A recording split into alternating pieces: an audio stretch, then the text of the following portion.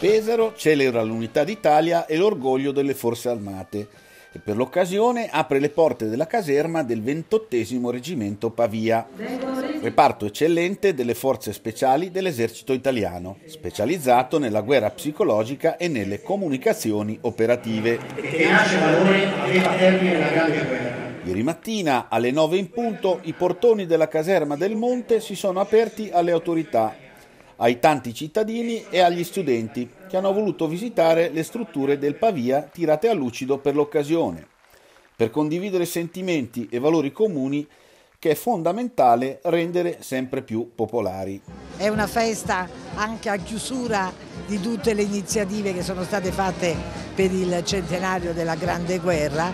ed è la, diciamo, la dimostrazione che ricordare può far bene, ha visto con grandissimo piacere la gioia e la partecipazione dei ragazzi, quindi è veramente una festa che ha coinvolto anche tanta popolazione qua cittadina. La ricorrenza, che celebra la fine vittoriosa della Prima Guerra Mondiale, ha commemorato la firma dell'armistizio siglato con l'impero austro-ungarico a Villa Giusti il 3 novembre del 1918.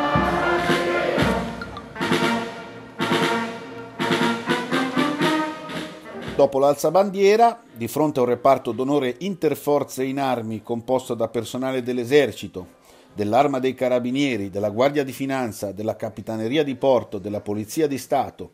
e della Polizia Penitenziaria, il saluto delle autorità, prefetto Carla Cincarilli e sindaco di Pesaro Matteo Ricci in testa, con il colonnello Massimo Marceddu a fare da padrone di casa nella prima cerimonia ufficiale dopo il suo insediamento a Pesaro lo scorso 22 settembre.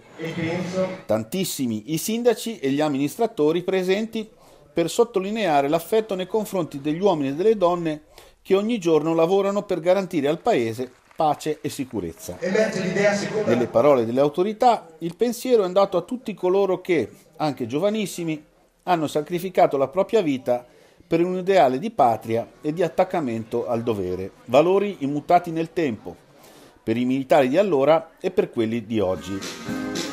Dopo la deposizione di una corona in memoria dei caduti è stato il momento delle onorificenze dell'ordine al merito della Repubblica Italiana ai cittadini della provincia di Pesaro. I nuovi cavalieri della Repubblica sono l'avvocato pesarese Floro Bisello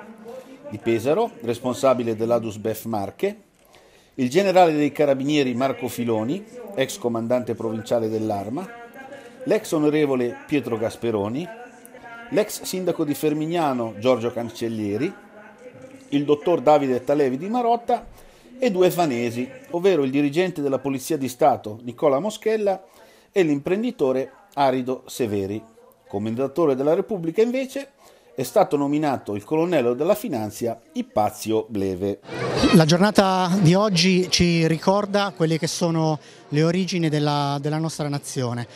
Eh, ricordiamo anche il centenario della Grande Guerra, è stato uno sforzo di un popolo che con i sacrifici non solo delle forze armate ma di tutti i cittadini hanno, sono riusciti a costruire quella che è l'Italia di oggi.